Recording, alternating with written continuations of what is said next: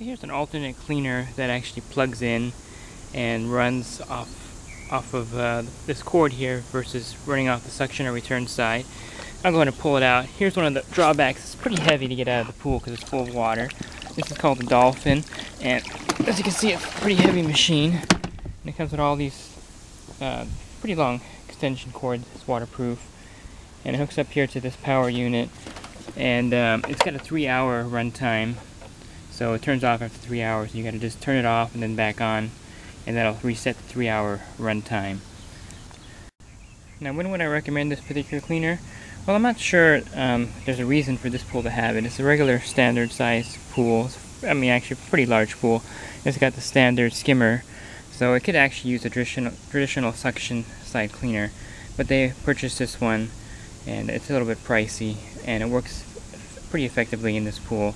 And I'll go ahead and show you how I clean out the debris basket.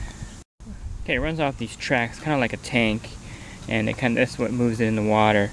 And it's actually a pretty big um, debris area in here. You just move these tabs, and you simply pull this out towards you, and you can see that giant basket. And I'll take it over to the side and clean it out.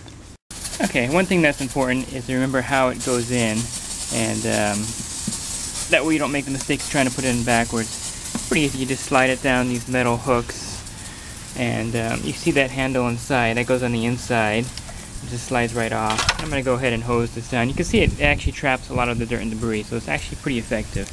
Okay, so I hose it off real good. I'm going to turn it back inside out and reattach it. So here we go. I'm going to slide it over here with that little handle in the middle. And I'm just going to slide it down the sides here. Clamp right on.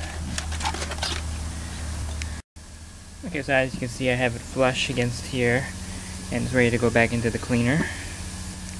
You can also put it all the way on its back and kind of press down if you, if you have trouble putting it in. And by doing that, you can actually slide that yellow locking thing right where it needs to go inside this little notch and secure in there. Um, this thing is pretty good. Uh, any kind of large debris like this seed pod will stop the cleaner, so keep an eye on it when it's running. Um, it's got, you know, a fairly good area for sucking up debris. That gets all the large debris out. Uh, but larger debris will just stop this tank track and you'll have to clear it out. Back in the pool and let me throw this cord in and we'll get it running and I'll let you see how it looks when it's actually running in the pool. Okay, I'm to go ahead and turn it on and walk back over here. You can see it start up and you can see it actually moving. It moves at a pretty good pace in the pool. It'll, it'll cover the whole area and it actually stops after about 10, 14 feet does a little turn.